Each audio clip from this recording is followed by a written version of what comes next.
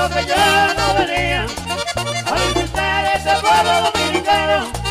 Pero ahora se me ha llegado el día a mi padre besarle la mano. Y mi padre besarle la mano. Pérez.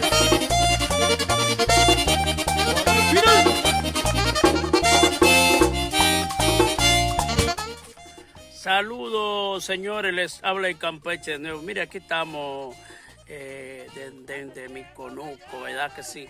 Eh, mire, yo quiero hablarle hoy del tema de la Policía Nacional.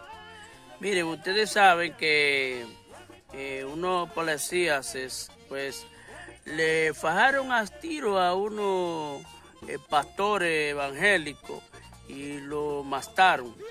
Entonces, eh, no hay una explicancia, una explicación que diga cómo fue y para qué y por qué le tiran.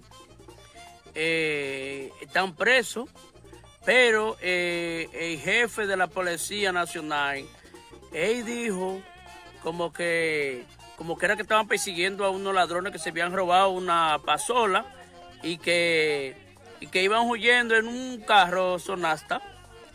Entonces yo me pregunto primero, si se roban una pasola, ¿cómo van a en un carro? ¿Y a dónde metían la pasola? ¿Adentro del carro?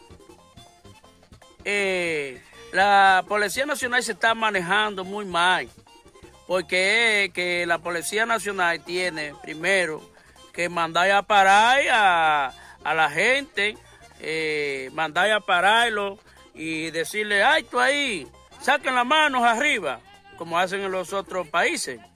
Entonces, eh, si una gente no le tira a usted, porque usted tiene que acribillarlo y tirarle, fajarle a tiro eh, gatillo alegre. Así no se puede.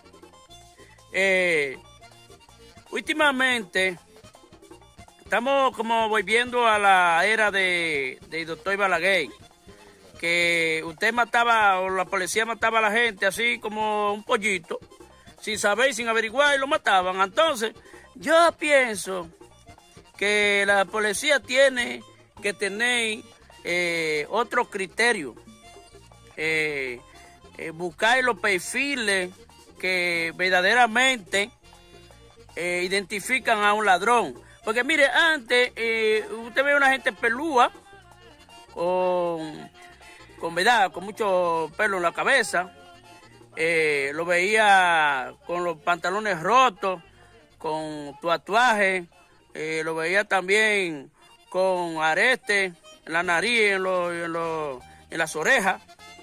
Entonces usted decía, ese es un delincuente.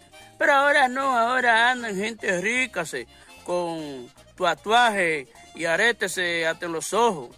Entonces usted no puede llevarse de ese perfil. Tiene que buscar otro perfil. Un perfil eh, científicamente. Si usted es policía investigador, usted tiene que tratar de, de investigar primero y después entonces eh, apresar a la gente, pero no fajarle a tiro. Entonces, miren, la gente están acabando con la policía, de que son malos, que son asesinos, que le tienen miedo, pero no todos los policías son malos. No todos los policías son malos. Hay muchos policías buenos, hay muchos policías serios, hay muchos policías educados y hay muchos policías que respetan la vida. Será pues hasta el próximo comentario. Suscríbase ahí en mi canal, Pedro Tifá. Yo soy el Campeche.